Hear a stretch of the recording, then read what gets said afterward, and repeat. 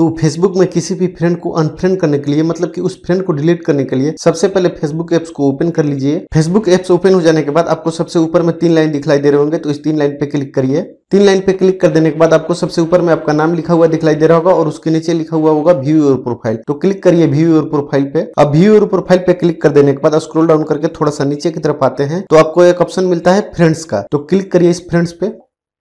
अब फ्रेंड्स पे क्लिक कर देने के बाद आपके सारे फ्रेंड्स का लिस्ट यहाँ पे खुल जाता है। तो उस फ्रेंड को अनफ्रेंड करने के लिए यहाँ से चाहे तो आप मैनुअली सर्च करके उसे ढूंढ सकते हैं या फिर यहाँ पे नाम डाल के उसे सर्च कर सकते हैं।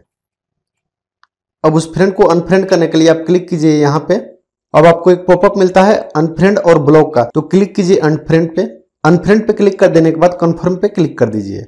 तो यहाँ से अब वो हमारा फ्रेंड अनफ्रेंड हो जाता है और हमारे फ्रेंड लिस्ट से हट जाता है मतलब कि डिलीट हो जाता है। तो इस तरह से आप भी बड़े आसानी से किसी भी फ्रेंड को अनफ्रेंड कर सकते हैं डिलीट कर सकते हैं। उम्मीद करता हूँ कि आपको ये वीडियो समझ में आई होगी और आपके काम की होगी। अगर वीडियो अच्छी लगी तो इसे लाइक कर दीजिए शेयर कीजिए अपने दोस्तों में व्हाट्सएप फेसबुक ग्रुप में और ऐसे ही सिंपल सिंपल वीडियो मैं अपने चैनल पर लाते रहता हूँ तो चाहे तो आप मेरे चैनल को सब्सक्राइब कर सकते हैं। मिलते एक नई वीडियो में, तब तक के लिए अपना ख्याल रखिएगा। बाय